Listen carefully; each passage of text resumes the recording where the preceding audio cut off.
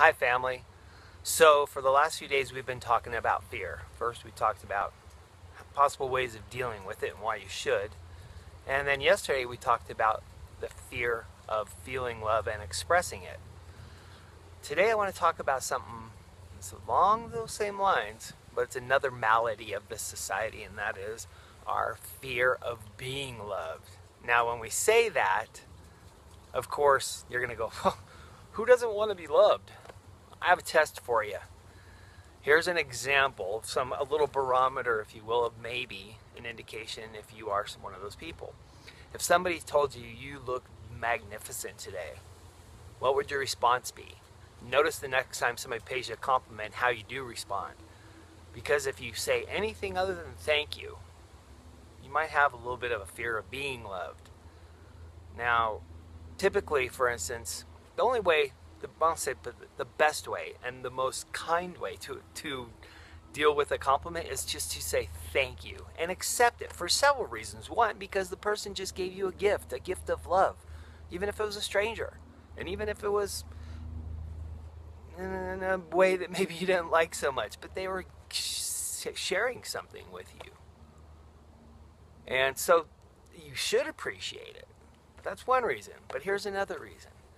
Because if you say anything other than thank you, if you challenge what they've told you, yes, you.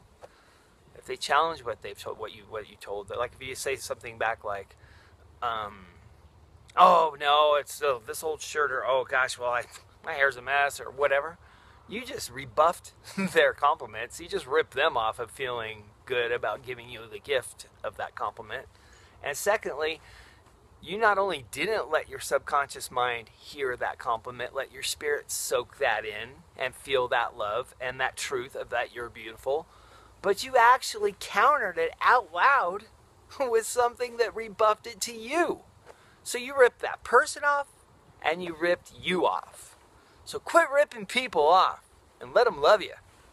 For real. Because you know what? If you're not ready to love yourself yet, then pretend that you believe them. Just say thank you. In that example.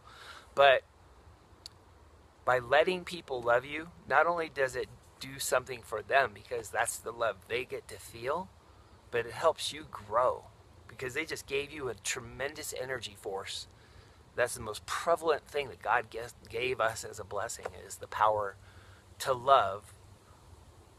You gave them that gift and you gave yourself the gift of being loved and letting yourself to be loved. So with that, I love you.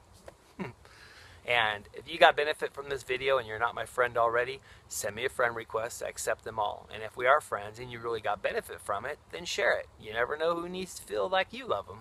You can love them by sharing a message. So, with that, everybody, I love you. Have a very blessed day.